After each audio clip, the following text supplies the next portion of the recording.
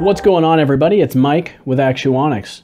And today I'm going to demo for you how simple it is to use any of our S-Series micro actuators or track actuators with a rocker switch.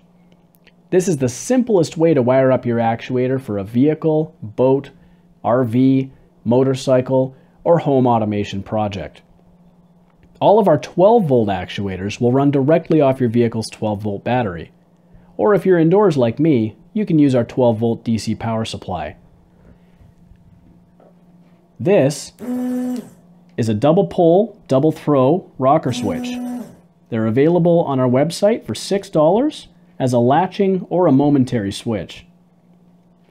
It comes with all of these spade connectors, as well as a fuse for the positive side of your circuit, so you have everything you need out of the box to help you get your project off the ground. If you need help wiring up your rocker switch, you can go to the product page on the controller section of our website and download the datasheet. There's a wiring diagram in there to help you along.